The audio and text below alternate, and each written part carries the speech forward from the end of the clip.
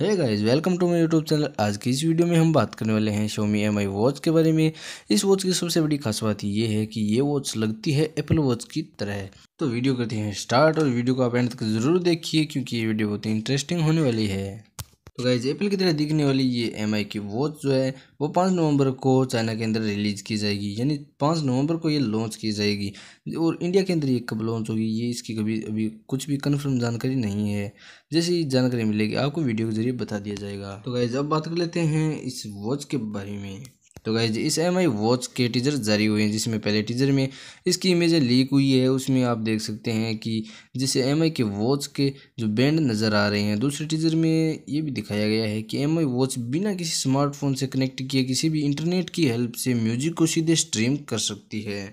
इसके अलावा Xiaomi के लेटेस्ट टीजर में इस बात का भी पता चला है कि Xiaomi वॉच के चार कलर ट्रेप हैं, जिसमें ब्लैक ग्रे वाइज और नेवी ब्लू रंग आपको देखने को मिलेगा।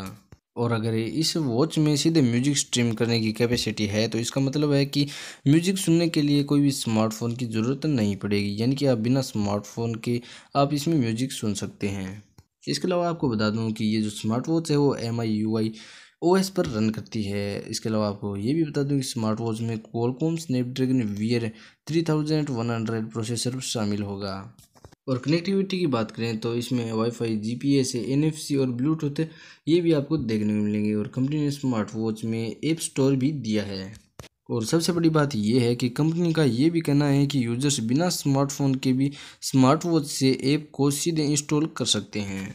और गैज अभी तक ये कोई भी जानकारी नहीं मिली है कि ये इंडिया के अंदर कब आएगी।